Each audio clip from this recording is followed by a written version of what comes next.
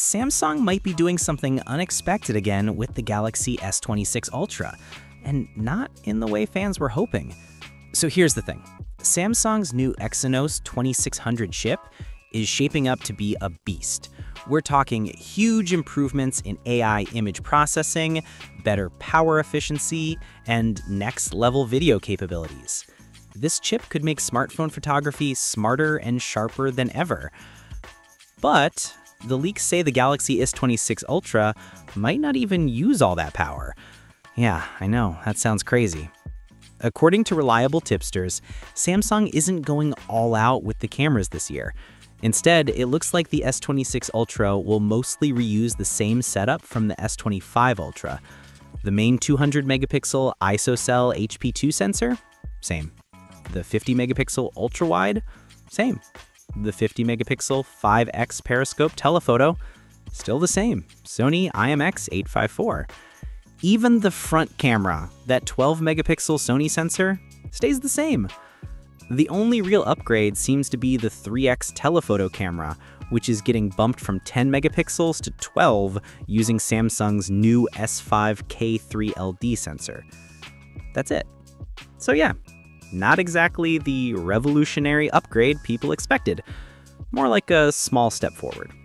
Now, some leakers, like at Universe Ice, say Samsung might tweak the apertures a bit, meaning maybe slightly better low light photos.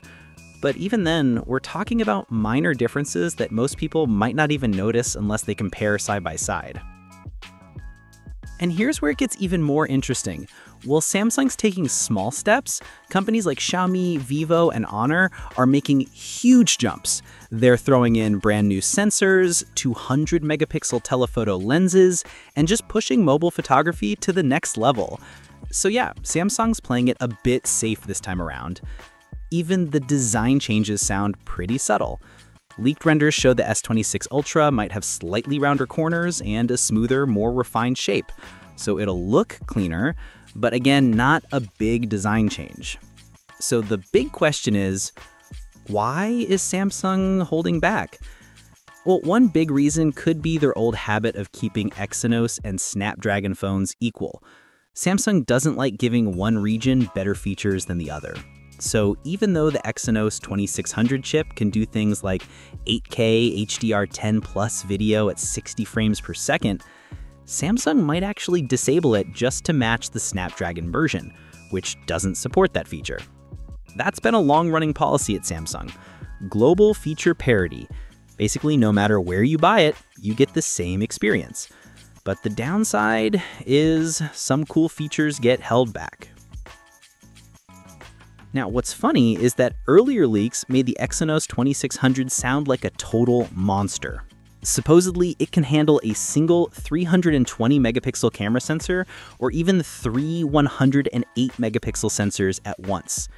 It can process 14-bit RAW photos, merge up to 5 HDR frames for better color and dynamic range, and shoot 8K video at 60 FPS or 4K at 120 FPS.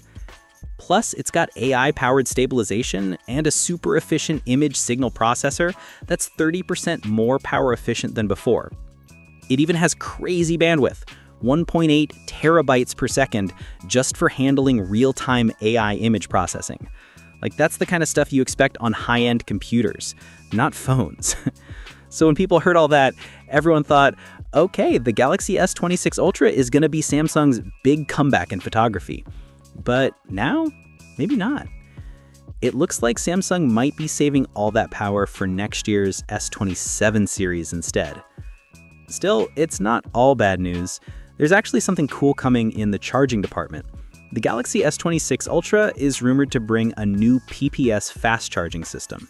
It'll charge up to 55 watts for the first 15%, that's the quick top up zone, and then maintain around 45 watts until 70%.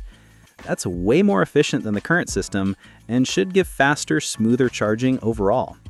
So even if Samsung isn't shaking things up in the camera department, it's still improving where it matters efficiency, stability, and consistency. Honestly, I think Samsung's playing the long game here. Maybe they're using the S26 Ultra to perfect the Exynos 2600 test its limits quietly before going all out next year. That would explain the focus on refinement rather than revolution. But still, part of me wishes Samsung would just go for it. Use the full potential of that chip. Let us see what it can really do. Because right now, it feels like they've built a supercar engine and then put it in eco mode. So yeah, the Galaxy S26 Ultra might not be the giant leap we hoped for, but it's still a step forward. Smarter processing, better energy use, faster charging, and that classic Samsung polish. Maybe this isn't the chapter where Samsung changes everything, but it could be the one that sets the stage for the next big leap.